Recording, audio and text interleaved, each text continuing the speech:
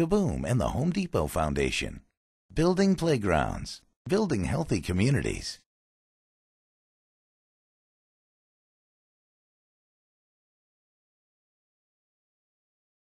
Kaboom or bust. 456 miles to go. We're starting the first leg of our journey. What do you guys think?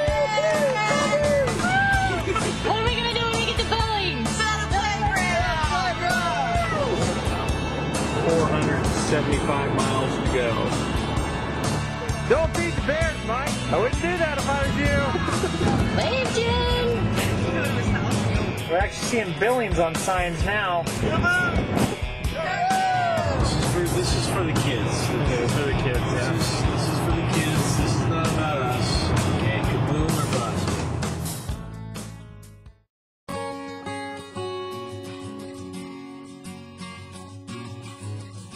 Well, this this is probably one of the oldest schools in Billings. This one was built around 1905, I think.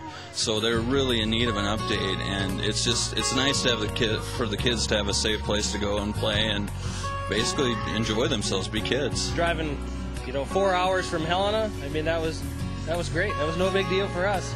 Um, I mean, we'd drive eight hours if we if we had to. to think that they would come all of this way, coming on their days off, that's incredible.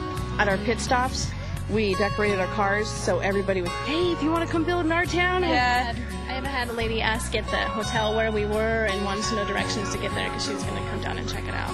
It doesn't matter. It could have been a thousand miles. I still would have came. This is my first build, actually. I have not been on a build. I have not been on a build last year. Three down in Salt Lake, and then Helena, Bozeman, and now this one. Very first kaboom build.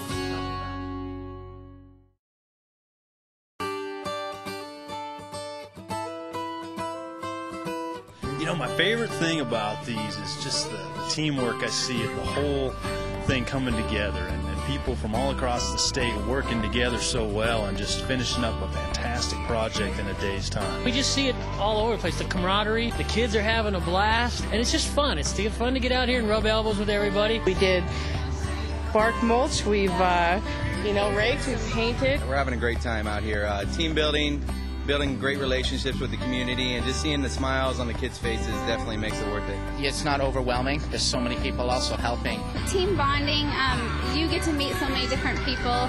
Uh, it doesn't matter who it is, y'all just kick in and um, work together as a team. It's joyous. It just everybody's happy, and we're buddies now. We're we're a community now. We're we're coming together to to participate in something that's wonderful.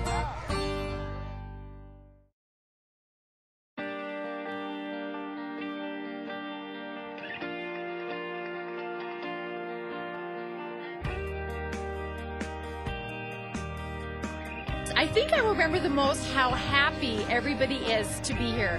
And what takes, you know, a company maybe three weeks to put together, we put together in, you know, a course of five or six hours. Coming into it, I thought we were just putting up some playground equipment, but it's a lot more than that. Our school was a little gray, and now when you look out, there is color everywhere. To know that their children and grandchildren are now going to be coming into equipment that's safe um, and unique because all the, the kids at the Broadwater Elementary School helped design it. When I drive by, I see it built up and think, hey, I had a hand in that. Thank you. This is just amazing to, to uh, come that far away to volunteer for this, which just shows dedication through Kaboom to pull these projects off. For us, it's just having that satisfaction of knowing that we're giving back, you know, that we're not just corporate America. You can write a check, but it's just not the same as people coming out here and sweating and mixing concrete and, and working with the members of the community. Just to see what it, what we started with and what we end with in just, uh, I mean, five hours or so is truly awesome. Well, actually, that kind of chokes me up a little bit because um, they believe in this project. Their commitment to this Kaboom project to drive eight hours is just heartwarming for me, and um, it just shows how much they care. Thank you!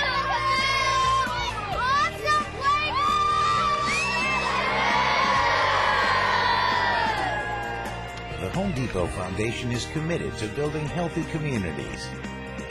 The Home Depot in Kaboom. It starts with a playground.